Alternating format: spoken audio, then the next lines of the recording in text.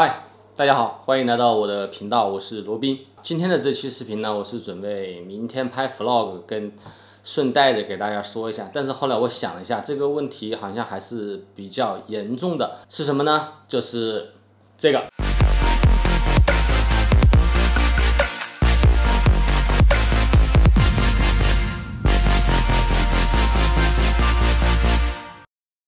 就是我手上这个 Joby 脚架，这款脚架其实挺有名的，大名鼎鼎的，不管是 YouTuber，还有包括一些 UP 主啊，他们大牌的，不管 不管是大牌小牌，好像大家都会使用这款 Joby 脚架。我在今天使用过中突然发现，它的这个脚啊，它立不住了。这个脚架我我买的时候我就知道它有这样一个毛病，但是呢，没想到它会这么快出现这样一个问题。我这个脚架是一八年的十二月三号买的，所以我拍了一个分享视频嘛。然后今天呢是五月三号，整整过去了五个月，五个月就发现了这个脚架的这边有一个固定它的一个环儿吧，这应该应该是固定它的一个环儿。这个环儿呢就发生了炸裂，发生了炸裂的现象呢就会出现这个脚架不稳。大家可以看到，我就是一个手指，这是不是感觉很轻松？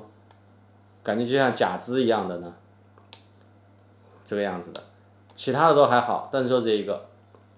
但是如果是四脚脚架，有一个脚啊这个样子了啊，我还有三个脚，我可以起到一个三角固定，对吧？你本来就是三个脚，如果你这个脚也废掉了，那我就是两个脚，那我这这怎么两脚怎么固定呢？我买的是一个三 K 的吧，它可以承重三公斤。如果这这样出现一个炸裂的现象，证明它就不是特别的稳，在驾驶的时候，这个过重的一个相机，可能它就会出现这样一个倾斜，你看，就，对不对？可能你的相机就会损坏。我觉得脚架不应该是一种易耗件啊，不应该是易耗件，而且这个易耗件也太容易了，五个月。就会出现这样的一个质量问题，这典型的就是一个有质量问题的产品。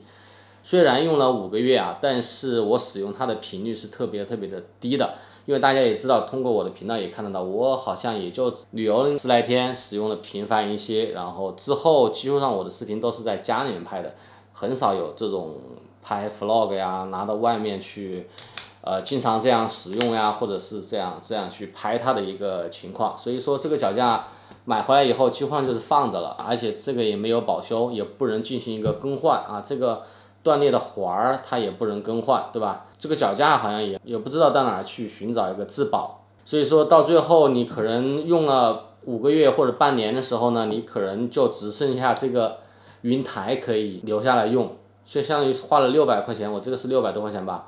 只剩下云台了，我你觉得划得来吗？你觉得值吗？如果大家想需要购买这样一个产品，Joby 脚架的一个产品的时候，觉得应该三思一下。其实买这个脚架的时候呢，我就已经有想过，它确实使用时间不是特别长，呃，因为也也有人反映过有这样一个通病。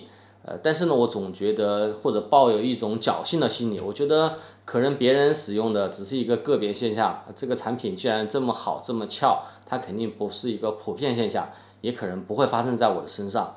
但是呢，在我这使用了五个月的时间呢，我而且频率特别短，所以像这样的一个频率，我觉得就是典型的一个质量问题，这完全没有必要去购买这样一个产品。